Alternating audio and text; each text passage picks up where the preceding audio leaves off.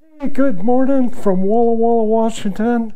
Now, I bought this old Axelson lathe, and the total cost from it being shipped from Ohio to here, plus uh, the eBay price, was $5,000 and it came with one chuck, and uh, that's about it. And uh, so I had to buy chucks and tool holders, and some of it was given to me. and some of it I, I found on eBay, some of it I found locally. But I've got just over $8,000 into this machine. And uh, that's a substantial enough sum that uh, I want the machine to work as good as possible. And uh, the only way I could figure out this machine here, which is a little bit different from other lathes, and I'll show you some things about it, um, to make it work this good. And I'll show you how good I got it working. So the last couple of videos I've been working on aluminum pieces here and uh, let's see on the uh, Mitutoyo dial snap gauge if I can get that uh, settled in it's 2,000 two ten thousandths 200 millionths under zero right there. We'll put it in the middle.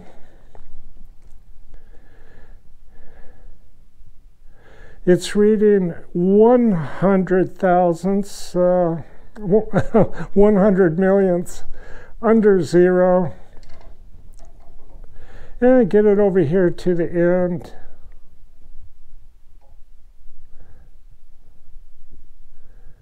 And it's reading just about 300 thousandths under zero there. So I've got that piece straight, and that piece is six inches long with uh, in two ten thousandths or 200 millionths, which is really remarkable for this old machine. And uh, to do that, I had to I had to keep testing it, make adjustments, and figure out how to make those adjustments.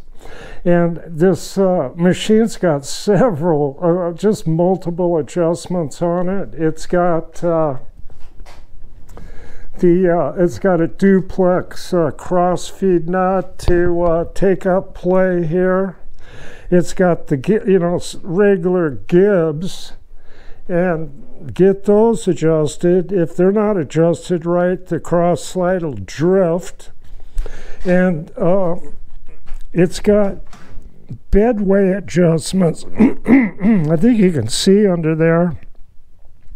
Here's a gib adjustment for the bedway. There's an identical one on the other side of this 26 inch late saddle around the travedile there. Then it's got a gib back here, and I'll show you how they did that. You can see the rear way here. Let's see if I can get it in the camera. It's tapered. So the gib on the back of the carriage there, if you adjust it in or out, it, it uh, changes the tension on the bedway. And then the tailstock to get it shifted to be able to uh, get that two ten thousandths uh, taper, which I think is great on this uh, machine. It's over 80 years old. You got to work the tension on these uh, lockdown bolts here. Two in front and two in the back there. And then adjust uh, which all, all lathes have, or most lathes, is uh, the side or lateral shift adjustments here. Get the, you know, clamp it down, the tailstock down consistently, find the error and drift it over. I use these dial indicators here to uh, move this over.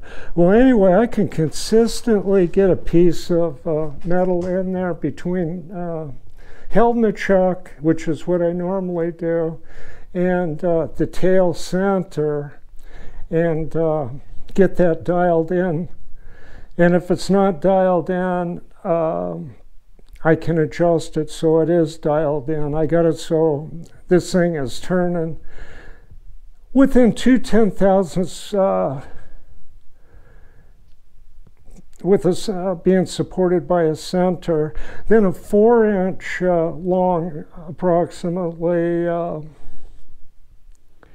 one inch diameter, I'm, I'm getting um, a, a, half thousandths taper, not supported by the tailstock, in four inches, which is good, good enough. So to make something like this work, you, you really uh, have to spend some time figuring it out because in the manual it doesn't really mention anything about this at all uh, uh on the tailstock or adjusting these gibs or even the existence of them. So it it, it takes quite a bit uh, of figuring it out yourself. I think on this machine, in particular, in any machine, you know, it uh, will have its own quirks, you know, on its oiling, on its uh, adjustments, on the spindle bearings has been something that I finally got right and uh, I'll, I'll, I'll, show how I tested that. So uh, I'll, I'll head over and show you that. I have to put the camera on a tripod. Be right back. All right, I got this little setup here on the milling machine because it's convenient, puts it at a right height, and it's kind of tricky. Um, I have a larger surface plate, but what this is is just a small comparator stand with a granite uh, with a granite block. I've got a tenth reading uh, indicator in there, and here here is uh, a piece of aluminum that I turned in the Axelson over there. And I want to check it for roundness. I have a couple ways of doing it. This is a good way to do it.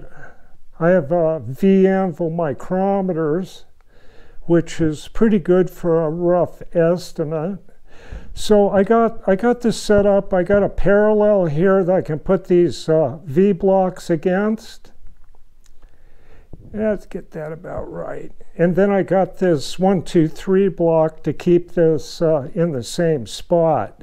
Now I turn this within two tenths too, and uh, so it, it makes it nice to uh, do this with, uh, without much taper uh, in the work part too.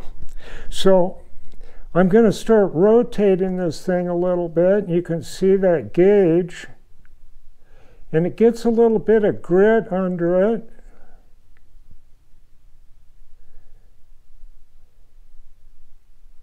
And what I determined is that on this end, it's uh, the accuracy of rotation of the lathe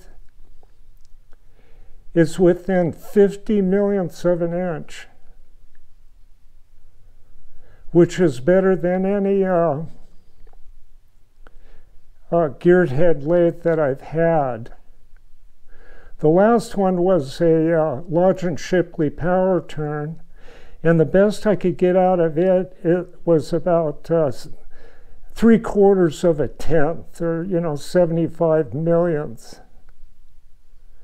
So I determined that this thing is just about 50 millionths, which is phenomenal for a Timken bearing headstock.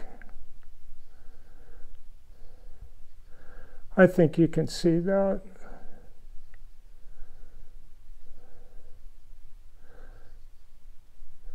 It's starting to head to the high spot there, which so I, I think it's better than 50 million. It's maybe like 40. Okay, now on this, this was uh, at the chuck end and I just parted it off. Now this end here was held by that uh, Royal Quad Bearing Live Center. And uh, that is not a cheap a cheap unit, I'll tell you that. I got a little scratch in this thing. And I determined that the uh, life, by the live center holding this and the accuracy of rotation or rotational accuracy on this end is even better than the half tenth on the other end, a little less than half tenth. See if I can demonstrate that. roll it around a little bit. Get a little speck of dust under this or grit. Whoop, see? A little scratch there.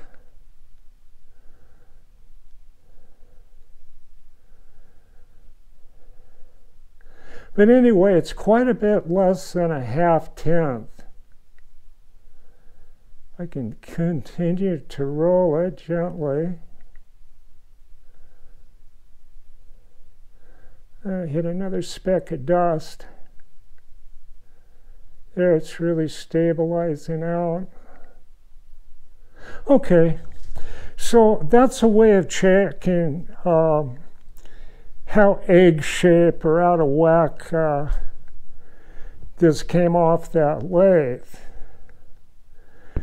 And uh, just under 50 millionths is uh, right in the accuracy range of those type zero um, spindle bearings. Now, let me take this loose. Now, on some other video on this thing, on this old Axelson over here, I put an indicator on the spindle nose and found that the spindle nose ran out like four ten thousandths, you know, multiple times um, run out than the rotational accuracy. So the, the spindle nose, uh, it's normal for an engine lathe like that one over there, that Axelson. And I got this out of a Dean Smith and Grace manual that uh, the spindle nose accuracy on a Dean Smith and Grace, uh, a later one, um, is uh, half thousandths is the maximum run out on the spindle nose and the spindle taper. Now, a lot of lathes a bit later on, they ground the spindle nose on um, on its bearings with it in its mounted in the headstock, rotated it, then uh, cylindrical ground the face of the spindle and the tapers. So more modern lathes will have uh, better accuracy for the spindle nose and uh, the, the spindle taper. But it doesn't affect the accuracy of rotation or rotational accuracy that I, have shown here. So, you know, you can see that these uh, is, there's just no, uh, especially on the, the live center end here, super accurate live center, the Royal, the Royal quad bearing and it's a very expensive live center that I uh, miraculously got very cheap on eBay. What a find. See, I got a little speck of dust under, under there. So, what happens on a machine like this over here is you got a little bit of spindle face run out and a little bit of taper run out because they didn't grind uh, the nose in place on the bearings. So on those machines, you have to fit the chucks to and then index the chuck to it so you put it on the, the same, uh, same spot, same pin and the same holes.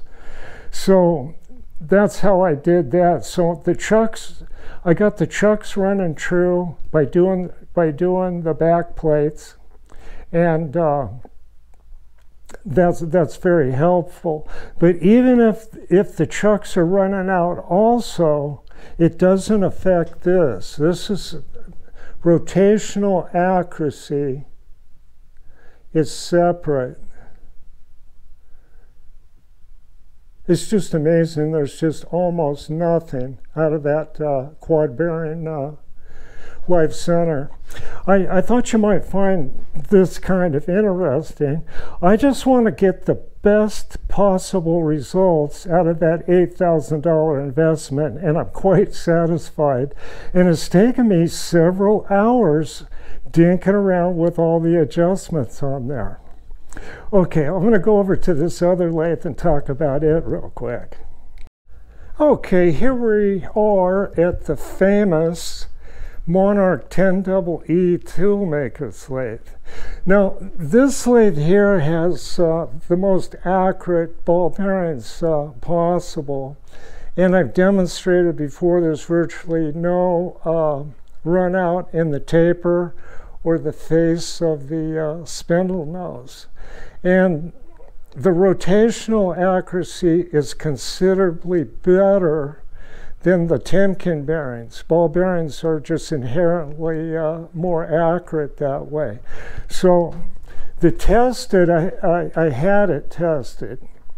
Um, rotational accuracy is closer to 12 millionths on this machine, 40 millionths on the, on the Axelson. Now, one of the things about this machine here is its high speeds.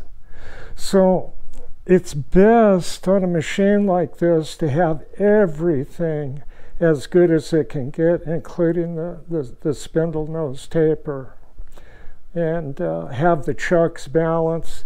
Though I balanced the chucks on, on the old Axelson uh, just, just for um, uh, to get, you know, just to kind of eliminate an out of balance problem. And things have worked out very good on, on this uh, old Axelson hanging out over here. So I'm done adjusting this machine. I believe it's as good as I can get it anyway.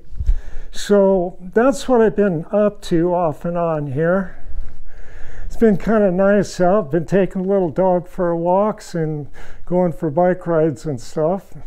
So um, I'm kind of hitting things in the shop now, and I'm going to get the next video I'm going to do is about the Monarch 10 EE and its operations. So thanks for tuning in, and I just thought I'd include you on what I'm doing. Uh, kicking around this old Axelson, and uh, my final results are quite remarkable, I think. Okay, good luck with your equipment, and uh, I will be back uh, probably tomorrow.